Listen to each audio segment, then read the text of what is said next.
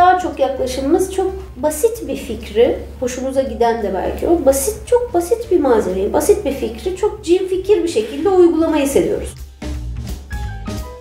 Güzel tasarım, çirkin tasarım diye bir şey yok ama doğru tasarım diye bir şey var. Doğru tasarıma ulaşmanın yolu da bizce iyi analiz etmekten geçiyor. İlk önce ihtiyacı ve beklentileri çok iyi anlamak gerekiyor. Sonrasında e, bir sürü başka bağlam var. Yani bağlam önemli kelime. Ee, bağlamı takip ediyoruz. Ama bağlamda da hani sadece müşterinin size verdiği brief değil, orada doğru bir brief mi veriyor? Yoksa aslında aklında başka bir şey var da hani kendi söylerken, onu kelimelere dökerken başka türlü bir şey mi söylüyor? Onu anlamak bizim için daha önemli oluyor. Türkiye'de sorgulamama, icat, icat çıkarma diye deyimi olan bir e, kültürü sonuç olarak ve hep sus sorma, sorgulama üzerine öğrenciler de bu şekilde yetiştiği için bak sorgula yani neden olmasın. Hatırlıyorum hmm, benim kendi tecrübem ben duymuştum ve öğrencilere soruyorum bazen. Bu böyle bir zemini olan ev olur mu diye. Şimdi ilk şey ne? Olmaz. Şimdi belki kaykaycı bir çiftin evi bu. Tamam ama böyle bir restoran olur mu? Bu sefer olur cevabı. Hayır olmaz yani. O da herkese hizmet edecek. Şimdi e, ilk önce bir şu gözlükleri açmak sonra da bir e, tamam saçmalamayayım bir toparlayayım demek lazım. Nereden başladınız, nasıl analiz ettiğiniz ve ne tasarladığınız dolayısıyla. Bizim ilk ev projelerimizden bir tanesi Ayşe Sultan Korusu'nda. Evet. Çok tatlı Sezgin ailesine bir e, iş almaya gittik. Bundan kaç sene? Bayağı epey önce. Biz Emir'le ikimiz de e, scooter kullanıyoruz. Vespalarla gittik. İşi birazcık da Vespalarla gittiğimiz için aldık.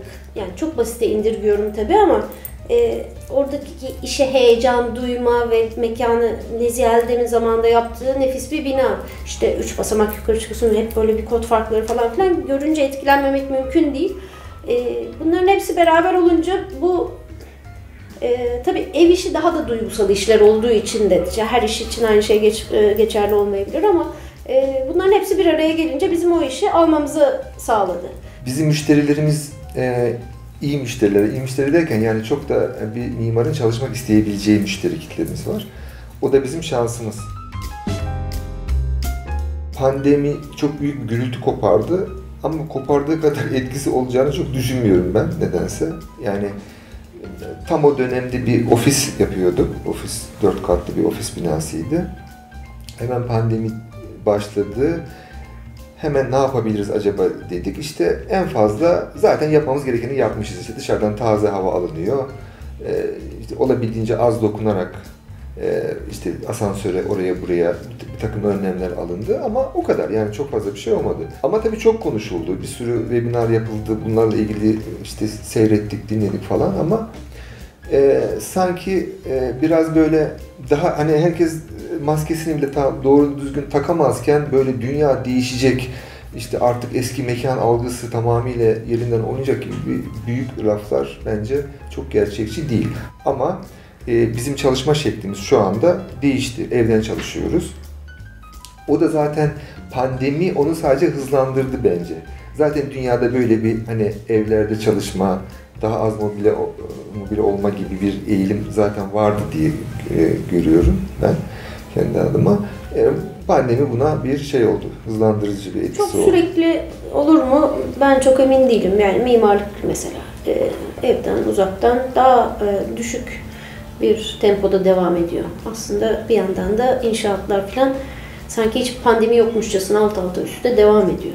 Evet, evet. E, dünya çok kalabalık, çok büyük bir nüfus planlaması olmadığı sürece başka türlü yaşama şansımız yok. Ne yapacağız? Gökdelenleri yayıp herkes villaya mı yerleşecek veya suburb'a mı yerleşecek? Böyle bir şey mümkün ve e, Bu arada pandemi süreci daha bitmedi. Hani nereye evrilecek bambaşka bir mutasyon olur ve dünya allak bullak olur. Bu ayrı konu tabii ama hani şu gidiş e, çok da kimsenin e, istifini bozmayacağı yönünde gibi gözüküyor bence.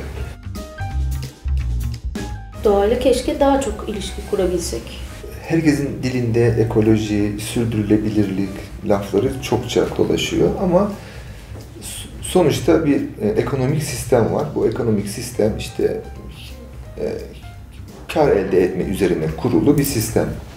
Çok büyük büyük bir akım var ve o yönde doğru gidiyor dünya. Hani bir sürü alternatif e, söz var, bir sürü muhalif e, şey var, e, şey var değil hani etki var ama yine de e, düzelmiyor. Dolayısıyla şimdi bizim medeniyetimiz doğadan kopmakla ilgili bir şey. Zaten doğadan koptuğumuz için biz buna medeniyet diyoruz. Akıl devreye giriyor ve doğadan kopuyoruz. Ama ne oluyor? İşte çok da e, iç, e, alt beynimizde olduğu için her çimeni gördüğümüzde ayaklarımızı çıkarıp orada böyle bir yayılasımız geliyor tabii ki. Dolayısıyla insanoğlu e, doğanın zaten bir parçası. Kopamaz oradan aslında kendisi ama kendi yaptığı yapay mekanlarda orayı taklit etme, imitasyonunu olabildiğince etrafa e, yeni o mekanlara sokma eğiliminde oluyor. Ve olabildiğince de bu yapay mekanlara e, bu şekliyle taşımak. Yoksa hani içeriye bahçeler yapalım falan değil ama zaten bizim gökdelen yapmıyoruz sonuçta e, bir iç mimar olarak. Şimdi onlar zaten çok da gerçek yani biraz biliyorsun ki pazarlamada kalan e, çabalar e, işte gökdeleni yeşil yapalım işte tamamen ekolojik bina yapmak e, işte aslında çok da sürdürülebilir. Çok affedersin. Hakikaten gökdelen yapıp bunu yeşil yapmak ne kadar niye gökdelen yapıyorsun? Yani evet. gökdelen yapıp onu yeşil yapmak mümkün mü yani ya da hani sürdürülebilir yapmak mümkün mü?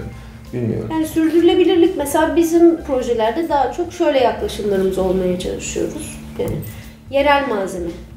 E, bir kere bu bir değer zaten. İşte Akdeniz'de bir ev yapıyorsanız, bir e, proje yapıyorsanız oranın yapı tipine uymak, oranın kaynaklarını kullanmak, oranın ustasını, evet. işçiliğini değerlendirmek en sürdürülebilir konular bunlar. Kim ona Karaköy Loft dedi onu evet. bulamadık daha. Yani biz demedik. Karaköy Loft değil çünkü Karaköy orası. evi. Çatı dubleksi o proje olarak. Loft'a benzetmiş biri. Loft demiş ve adı öyle kaldı. Bizim şeyde... Biz de benimsedik sonra. Loft değil mi bizim? Evet sonra biz de değiştirdik evet. O çok e, tanıdığımız bir müşteri zaten e, arkadaşımız. Daha önce başlamıştı oraya başlamıştı derken hani bir şeyler yapıyordu. Bizden teklif almıştı. Tabii Yutong'dan bir mutfak hazırlamış Ara vermişti. Falan bir şeyler. Sonra tekrar geldi. İşte e, yani ikinci kere girdik işin içine. Oranın özelliği biraz e, en iyi analiz edilen projelerden biri o. Çok e, müşterisine ait bir yer orası. Bittikten sonra e, biz ne kadar sonra gittik? Geç hala gidiyoruz da geliyoruz hala her şey koyduğumuz yerde duruyor. Şimdi bunun bir şeyi var. Yani buradan iyi bir şey de çıkabilir, kötü bir şey de çıkabilir. Bir, hani çok mükemmel yaptınız, her şey tam olması gerektiği yerde olduğu için e, değişmedi. İkincisi, e, o mimar egosuna yenilip e, mal sahibi işte ben bunu bunu oynatmayayım, burayı Hayır, yapmış bozmayayım. Oynayamaz ki zaten her şey. her şey orada yapısal e, Ama yapmaya da çalışmamış yani. Hani yani memnun için bayağı bir inşaata memnun da yani. lazım. Dolayısıyla o yüzden de şey yani e, iyi analiz edilmiş tam böyle e, müşterinin üzerine uyan bir elbise oldu orası. O anlamda da e, en başarılı projelerden biri yani. Kalem, metre, e, kağıt. Evet, cüzdanımı, telefonumu alıp çıkıyorum. Eminönü'nü çok seviyorum. Beşiktaş, Kadıköy. Şu an hiçbir yere gitmiyoruz zaten tasarlanacak ne kaldı diye bir kitap var. Ara ara Küçük Prens'i baştan okurum. Çok yaşlı bir meşe olmak isterdim mesela. Zeytin. Kök salmaktan yanayım sanki. İsteğim aslında. Macera taraftarı. Ama öyle değil yani. Yalan tabii yani. Ben direkt macera diyeceğim. Ben inanmıyorum öyle şeylere. Sanki herkesin süper kahramanı kendi içinde varmış gibi. Benim konfor noktam yok yani. Kaçtığım ev olur ya hiçbir şey asla vazgeçilmez değildir. Gezmekten vazgeçemem, seyahat etmekten. Geleceğe giderim. Ben bir oraya giderim, bir öbür tarafa giderim. Sonra öbür taraftayken aklım öbür tarafta kalır, bir de oraya bakarım.